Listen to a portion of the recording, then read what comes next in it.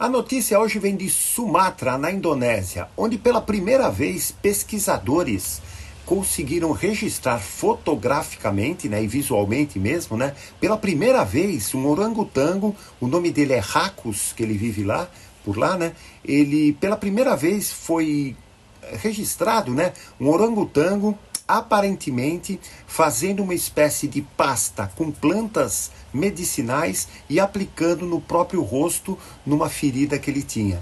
Dá uma olhada na foto, é uma coisa super interessante.